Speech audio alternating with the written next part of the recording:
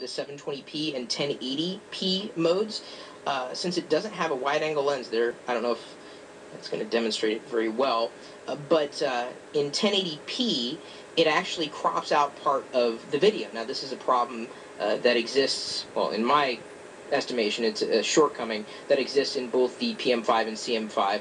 Uh, if I go into the menu and toggle video between 1080 at 30 frames a second or 720 at 30 frames a second, you'll notice that I can see a lot more of the, the object in front of me.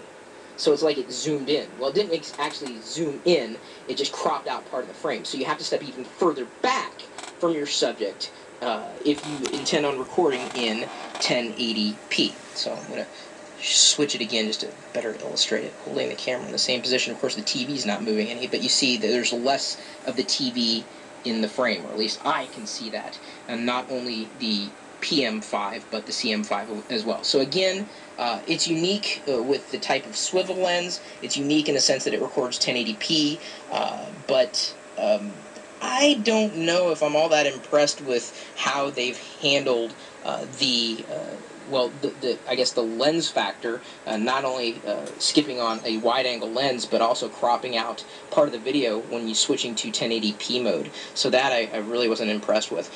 I do have to thank Sony, however, at halfway point, uh, for sending me both Bloggies to review. I will be sending them back. Um, so without further ado, uh, let me switch to the CM5. Ta-da! Do not adjust your screen. I have recorded two video reviews of the Sony Bloggie CM5 that I'm pointing at with the Sony Bloggie PM5, what I'm recording with, and each time it was out of focus. So apparently, while I'm standing the same distance from the CM5 with the PM5 as I was with the CM5 for the PM5, uh, the PM5 doesn't do close-up shots very well at all, so I'm going to cut this part actually short.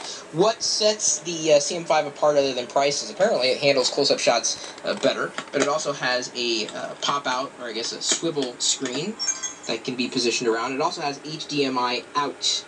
Uh, so for the money, I would say it's the CM5 for a variety of reasons. Oh, you know, not the least of which is the 5 magnification optical zoom, if you can see that at all. So, uh, like I said, I'm going to cut this short since this third video review attempt of the uh, CM5 uh, with the PM5 has been out of focus. I'm Just going to assume this one's going to be out of focus as well. My email address, chris at pirillo.com.